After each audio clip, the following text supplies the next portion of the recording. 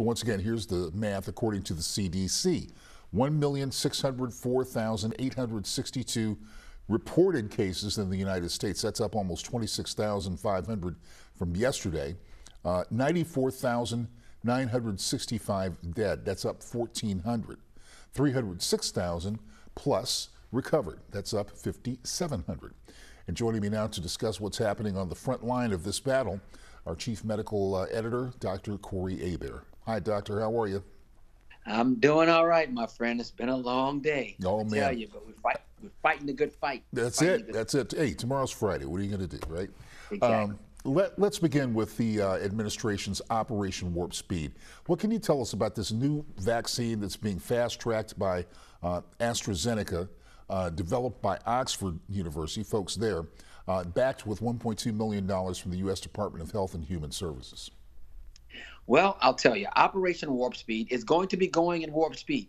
But what I want always for people to remember is that the vaccine must be safe, the vaccine must be effective. And without those two things, it doesn't matter how many how many vials they have, people will not take it and it will not get licensed. And what I want people to really remember is that we want a vaccine that works. We want the vaccine that is safe. But we cannot rush to get one. And I will uh, harken back to 1976. Fred, uh, I know you were born by that time. They had the swine flu, questionable swine flu outbreak, and they rushed to get a vaccine. 25% of the population of the United States actually got the vaccine. 32 people died from the vaccine. Hundreds of people got Guillain Barre syndrome, which is an ascending paralysis, and they could no longer walk or move their arms. And only one person died from the questionable swine flu. It was a soldier from Fort Dix, New Jersey. So what I'm saying is that we have a huge uh, hurdle to jump to make sure that we will have a safe vaccine. And they can do. They're making all this. Inf- they're making all these vials, and all these companies are doing it. And we're spending a lot of money because we need a vaccine. But just remember, of, the hundred, hundred and some odd uh, companies that are making it, maybe one of these things is going to work.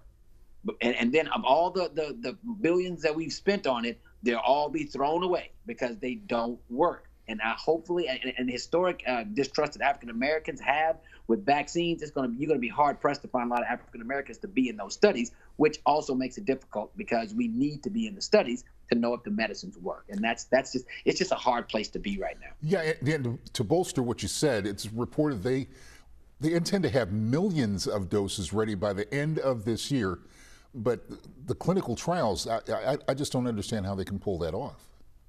They can't. And and hmm. do you you know Moderna? They came out with a vaccine. They said they're going to have million, hundreds of millions of doses. The president came out in the Rose Garden the other day. They're going to have hundreds of millions of doses. All these things are, are being made so they can be ready. But if they don't pass the phase one, let's let's talk about this real quick. First is animal studies. Okay. Then after that, you have to go through phase one. That's when they have a few people in the study and you give them the medicine to see if it is safe and if they die or not. That's what they do. Phase two is when you say you give it to a little bit more, a few more people, maybe about 80, 90 people, and then you see if it actually works to check for the neutralizing antibody. The problem is we don't even know if they if it makes the presence, it has the presence of the neutralizing antibody. We don't even know if the neutralizing antibody is going to be enough to protect you from the, from the coronavirus anyway.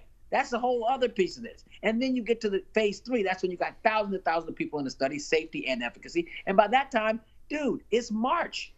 Yeah. I mean, the, the, the fastest we've ever had was four years. The fastest. And we, I mean, and, and this is, uh, it's called warp speed for a reason. I would just warn that we need to just slow it on down and, and do the things that actually got us to the point where we are now, meaning the numbers are going down. But I will say one more thing, Fred. Can I say this? Um, The reason why I, I'm driving around, I'm seeing everybody back in restaurants, just drinking and having fun and all this other kind of stuff.